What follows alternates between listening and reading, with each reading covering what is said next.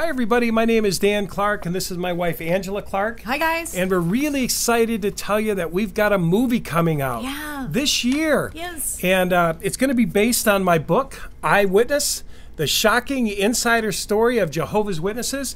And I got to tell you, we really got good news. Here's why. yeah. Okay. So uh, the producer director has already been chosen, and she's incredible. It's Tanya L. Carrier Productions. She's already got the camera crew, and she's got the actors and actresses picked out. Um, the the script and the treatment that's that they need is already done. So really, all we're, we've got to do is just raise the money, and this book, this movie based on this book can come out. So it's based on Dan's story. Dan, tell them about your story. Yeah, and it's it's a shocking story, and Mm. it's my whole life. Uh, it's a motion picture. It's not a documentary, Right. and it's my whole life growing up from birth to the age 40 is when I left the Jehovah's Witnesses, and it just talks about you know early on growing up in a hoarder's house with a mentally ill, ill mother that had schizophrenia. And uh, just uh, the fear that I lived in my whole life of being indoctrinated into fear by the Jehovah's Witnesses, thinking the world was going to end in 1975, and putting my whole life on hold.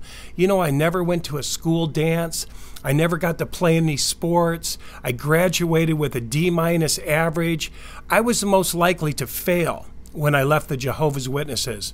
And um, the movie's going to talk about that. That's kind of the, the first part of the movie. And it's going to share all sorts of elements in this movie about the fact that when we study with people, we tell people to cut off their family. We, when they get in, we tell them they got to carry a blood card now. And uh, which means you don't take blood even if you're dying. Um, You if don't a- associate with the world. you don't associate with the world. If if your kid leaves, if, if you've got a, a, a teenager and he gets into trouble, I mean, we put him out of the house and we tell him to figure it out. And uh, and they're cut off from their family just because they did something wrong. yeah, They're and abandoned. Yes, and, and, and they commit suicide. And so there's a high suicide rate. There's a high mental illness rate yes. um, within the, the Kingdom Hall, a high one. And it's because of the indoctrination of fear that we that this morbid fear that we have of Jehovah, they, they pound it in our head, you better not ever leave. Um, once you're inside, it's over. You can't get out. And if you come out, they're going to take everything you got, your family. When you go in, they strip you of everything, every book you have, every worldly book you have. There's just a lot. I, I can't go into it all. But there's a ton of things that people don't know. When those friendly witnesses come to your door, you're being indoctrinated the, the minute they get there. And here's the scary thing, guys they're coming to television.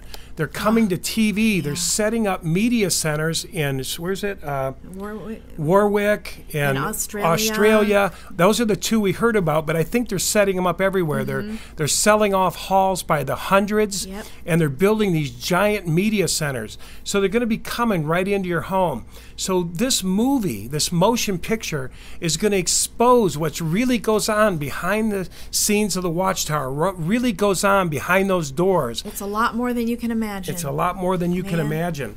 And this story is going to be about overcoming. It's going to be about my willingness to walk through the fear. I had so much fear. But what was amazing, I, I had this surrender moment where God help me, help me get out of here. I need to get out. These prophecies have passed. They haven't, uh, they haven't apologized. They're, you know, I don't know what I'm doing in here. I was getting a split mind.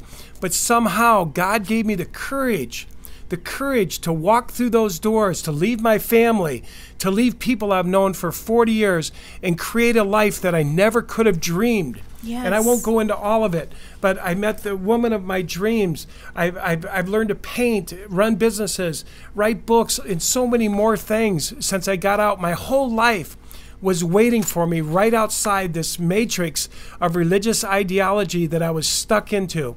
And this movie's going to blow it apart. It's going to reveal everything. It's going to expose everything. There's going to be not left one rock left upon a rock. Everything is going to be turned over and exposed. and in all, all told in this story of Dan's life. It's not a documentary, once again. So you're just going to see it played out in Dan's life. It's incredible. And you guys, what we really want to do here is we want to bring hope. I mean, and we want to bring education because if you guys understand these witnesses, I'm going to tell you, they're coming out by the hordes right now because this organization is not doing well at all. There's a lot of trouble inside.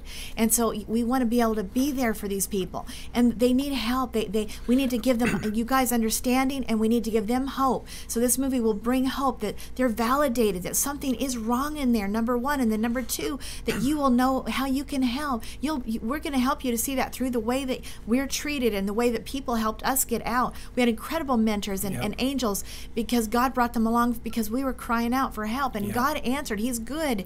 So Yep. we're going to show you what happened, and it's very inspirational and it's very very amazing what all happened. Yep. And you'll, you'll be amazed. You will learn a So, lot. so we're asking you, we need help Yes. to bring it to fruition. Yep. Um, we're, we're needing donations, Yes, and, and yes. no donation is too small. No, no. It doesn't matter if it's $10. We're happy. I mean, this movie can be made really quick. Like Angela said, the producer, the script, the, the screenplay, the, what is it, the, the treatment, the Camera cameras, crew. the actors, everything is ready. ready. They're ready to go right now. Yep. So Push if- the button. If we, yeah, if we can raise this little money, Yeah. it's done. It's a done deal. Yeah. And these guys aren't going to get away with it. The Jehovah's Witnesses are not going to continue to get away with what they're getting away with. We're going to bring it out. We got our minds back. We're ready to use them and put them to use in this movie. Yep. So we're just asking everybody donate. Yes, everybody please. contribute. we're going to be contributing. Everybody that we can um, are going to be putting something to this movie. Okay. Yep. Just need your help, guys.